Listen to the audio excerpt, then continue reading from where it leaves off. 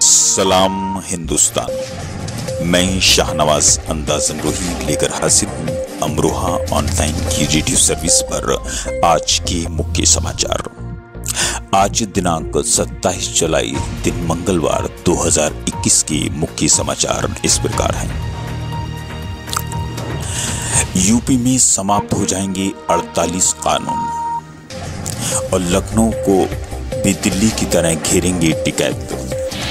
Saudi अरब ने दे दी है उम्रा यात्रा की अनुमति। वित्तविहीन स्कूलों को खोले जाने की मांग की वित्तविहीन विद्यालय एसोसिएशन अमरोहा ने।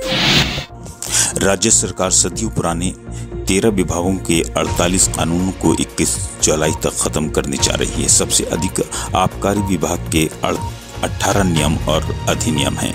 विभागीय स्तर पर तैयार हुए इन प्रस्तावों पर उच्च अधिकारियों की बैठक में सहमति बन गई है। इन्हें खत्म करने के लिए जल्द ही कैबिनेट से प्रस्ताव पास कराने की तैयारी शुरू कर दी गई है।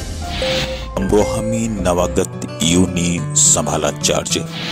पालिका से तबादला होकर आए शहर की नगर पालिका के नवागत अधिशासी अधिकारी ब्रजेश कुमार ने सोमवार को कार्यभार ग्रहण किया। अमरोहा ऑनलाइन की रेडियो सर्विस पर उन्होंने कहा कि शासन की मंशा के मुताबिक सफ़ाई, पेयजल, कूड़ा प्रबंध आदि व्यवस्थाएँ उनकी प्राथमिकता रहेगी। डॉक्टर ब्रजेश कुमार, आपके शहर का नया शासी अधिकारी हूँ। अभी हाल ही मेरी पोस्टिंग हुई है और जो मेरा मुख्य लक्ष्य होगा कि मैं स्वच्छ भारत मिशन के अंतर्गत जो कार्यक्रम है, उनको अच्छे से लागू करूँ। साथ ही जो जल भराव की समस्या, जो मुझे आकर यहाँ पता चली कि जल भराव की समस्या बहुत ज़्यादा है, उसके लिए भी बेहतर प्रयास करूँ। साथ ही केंद्र सरकार, राज्य सरकार के द्वारा जो योजनाएँ चलाई जा रही है अमृत योजना के अंतर्गत लोगों को हर घर में जो है पेयजल उपलब्ध कराऊं। साथ ही डोर टू डोर कलेक्शन को ज़्यादा प्रभावी बनाऊँ, सफ़ाई व्यवस्था को ज़्यादा प्रभावी बनाऊँ, और शहर को साथ लेके सभी नागरिकों को, गणमान्य व्यक्तियों को, यहाँ के पार्टी से जुड़े हुए लोगों को, और भी बहुत सारे गणमान्य लोग जो जुड़े हुए हैं, जिला पंचायत अध्यक्ष हो गए जिला प्रशासन हो गया। इन सभी को साथ में लेके मैं एक बेहतर अमरोहा बनाना चाहता हूँ सौंदर्यगढ़ के लिए विकास करना चाहता हूँ। बस यही मेरे प्रमुख लक्ष्य हैं कि उनको बेहतर बनाऊँ, अच्छे तरीके से चौराहों का सौंदर्यकरण हो, पार्कों का सौंदर्यकरण हो, ताकि लोग सुबह शाम टहले।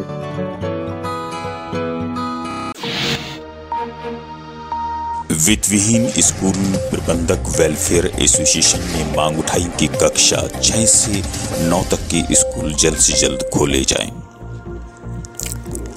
वित्तहीन स्कूल प्रबंधक वेलफेयर एसोसिएशन ने ज़िले में कक्षा छह से बारहवीं तक के स्कूलों का संचालन शुरू करने की मांग की। संगठन के प्रदेश अध्यक्ष बसंत सारस्वती के नेतृत्व में पदाधिकारी सोमवार दोपहर कलेक्ट्रेट पहुँचे। मांगों का निस्तारण के संबंध में डीएम को ज्ञापन सौंपा। कक्षा छह से बारह तक की स्कूलों का संचालन कोविड गाइडलाइन का पालन करते हुए शुरू करने की अनुमति की मांग की। स्कूल बंद होने के बावजूद जारी किए गए बिजली बिलों को माफ़ करने, वित्तविहीन स्कूलों के शिक्षकों व अन्य कर्मचारियों को आजीविका के लिए आर्थिक सहायता देने की मांग की और राज्य सरकार को ज्ञापन सौंपा।